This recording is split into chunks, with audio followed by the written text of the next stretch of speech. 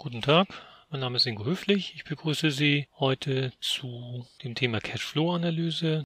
Der erste wichtige Punkt ist erstmal die Klärung, was Cashflow überhaupt bedeutet. Cashflow kann man eigentlich auch mit Liquidität übersetzen, nämlich die Frage, wie viel Liquidität wurde in dem Unternehmen innerhalb des Betrachtungszeitraumes erwirtschaftet oder vernichtet. Stellen wir uns also einmal ein Geschäftsjahr vor. Wir haben das Geschäftsjahr 2017 und wir schauen uns an, ob dort die Liquidität des Unternehmens zum Jahresende größer oder kleiner geworden ist. Die Liquidität, die messen wir ja in Geldeinheiten und die befindet sich ja in der Bilanz in den Positionen Kasse und Bank. Und da können wir uns anschauen, wie die sich quasi verändert haben und auch wodurch die sich verändert haben.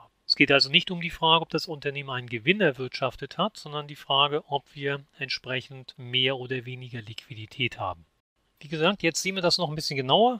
Praktikerlösung. Den Jahresüberschuss oder Jahresverlust oder Jahresergebnis vor bzw. nachsteuern können wir recht gut aus der Gewinn- und Verlustrechnung entnehmen. Und jetzt haben wir die Position, die meist den Großteil an nicht zahlungswirksamen Aufwendungen darstellen, nämlich die Abschreibungen. Die Abschreibungen vermindern unser Jahresergebnis, aber daraus ist kein Geld abgeflossen. Deswegen müssen wir die wieder hinzuaddieren. Das gleiche gilt für langfristige Rückstellungen, zum Beispiel langfristige Prozesskostenrückstellungen oder Rückstellungen für Pensionen. Die kommen auch wieder oben drauf, weil dafür kein Geld aus dem Unternehmen abgeflossen ist.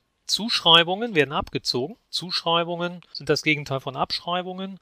Das hört sich jetzt auch jetzt nicht blöd klingen, sondern nur, dass man sich überlegt, was könnte das sein. Das heißt, der Wert eines Vermögensgegenstandes wurde ursprünglich einmal außerplanmäßig abgeschrieben, zum Beispiel durch einen Wertverlust, weil vielleicht das Objekt asbestverseucht ist und wir die eine Etage nicht mehr vermieten können. Jetzt haben wir das Objekt, eine Immobilie saniert. Wir können es wieder komplett nutzen.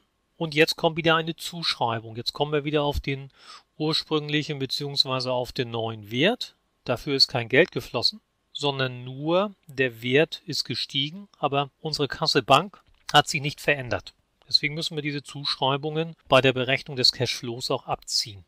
Das gleiche gilt, für Erträge aus der Auflösung von langfristigen Rückstellungen. Diese Rückstellungen haben wir als Aufwand gebildet und jetzt würden sie quasi als Ertrag in die GV mit reingehen, aber es ist kein Geld geflossen, damit haben wir unseren Cashflow. Und das ist das, was das Unternehmen erstmal an Liquidität verdient hat. Auf der nächsten Seite sehen wir gleich, dass wir diesen Cashflow noch ein bisschen weiter aufgliedern können. Jetzt haben wir die Seite Cashflow Aufspaltung und Interpretation. Das bedeutet, wir haben den Cashflow wie zuvor ermittelt, nämlich aus der Gewinn- und Verlustrechnung. Und jetzt schauen wir uns die Posten der Bilanz an und unterteilen unseren Cashflow noch weiter. Alle drei zusammen, operativer Cashflow plus Investitions-Cashflow plus Finanzierungs-Cashflow, ergeben die Veränderung des Finanzmittelfonds. Dort sehen wir quasi die Veränderung zwischen Kasse Bank 1.1.2017 zu 31.12.2017, wodurch diese Veränderungen entstanden sind und damit haben wir natürlich eine ganze Menge Interpretationsspielraum, entweder nur für unser Unternehmen oder eben auch im Vergleich mit Wettbewerbsunternehmen.